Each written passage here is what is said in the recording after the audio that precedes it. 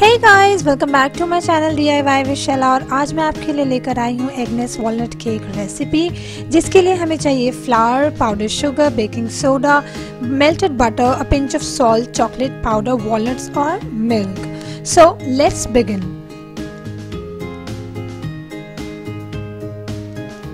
तो सबसे पहले मैंने एक कप पाउडर शुगर लिया है। और आप नॉर्मल शुगर को भी आप ग्राइंड कर सकते हैं पाउडर बना सकते हैं। फिर मैंने लिया है मेल्टेड बटर मैंने हाफ़ जो आधी टिक्की होती है, उसको मेल्ट कर लिया था और उसको अच्छे से मिक्स कर लिया। और इसको तब तक मिक्स करना है जब तक ये एक क्रीमिश कलर ना आ जाए। Now I am taking flour मैंने एक बोल एक कटोरा फ्लावर लिया है। उसमें थोड़ा सा नमक और दो तीन पिंच बेकिंग सोडा डाला। और चॉकलेट पाउडर जो है वो आप अपने टेस्ट के अकॉर्डिंग ले सकते हैं।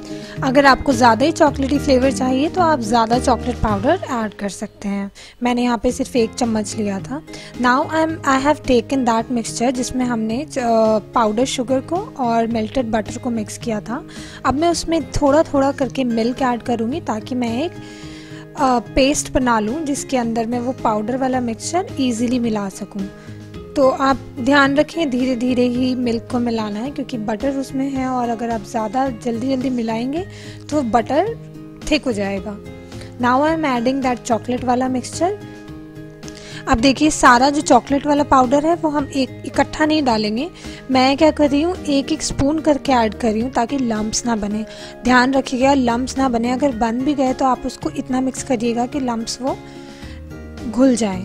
सो so, अब दूसरी तरफ़ मैंने एक पतीला लिया है जिसके अंदर मैंने नमक अच्छा खासा नमक डाला है और वो मैंने हीट करने के लिए रख दिया है क्योंकि अब मैं माइक्रोवेव में या अवन में तो बना नहीं रही हूँ तो मैं गैस पे बना रही हूँ। अब अब आपने क्या करना है? जिस भी बर्तन में आप केक को बेक करना चाहते हैं, उसमें अच्छे से बटर लगा के थोड़ा सा आटा डालें या फ्लावर डालें और उसको अच्छे से बटर वाले एरिया पे लगा दें ताकि आपका बैटर जब बेक हो तो वो आपके बर्तन पे ना चिपके और केक इजीली बाहर निकल आए।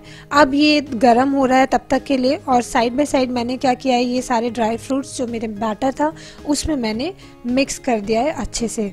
उसके बाद हम ये बेकिंग बोल में इसको, जिसमें आपको बेक करना है उसमें आप ये बैटर को अच्छे से भर लें। ध्यान रखना ज़्यादा ऊपर तक ना हो क्योंकि ये फूलता भी है और ये ज़्यादा ऊपर आ जाएगा और अच्छा बेहतर होगा कि आप इसको अच्छे से ऊपर से सेट कर लें। अब मैंने किया है जो मेरा पतीला था जिसमें नमक लगाया था, उस पर कुकर स्टैंड रखा ताकि डायरेक्ट हीट जो है नमक की, वो हमारे केक को जलाए ना। तो मैंने इस तरह से रख लिया और एक ढक्कन पे कपड़ा रैप करके ढक दिया। अब 45 मिनट तक बेक होने के बाद मैंने इसे चाकू से चेक करा। ध्यान रखना चेक करने में आपको कैसे पता चलेगा कि ये सही बेक्ड है? आपके नाइफ पे बैटर नहीं चिपका होना चाहिए। Now the cake is ready अब हम इसको निकालेंगे। ध्यान से साइड के कॉर्नर से आपको निकालना है। ध्यान रखें, आपका केक ना ख़राब हो जाए। तो अभी मैं यही कर रही हूँ कि इसका साइड से कॉर्नर्स में थोड़ा सा चिपक गया था और इसको पलट कर ये इजीली निकल जाएगा।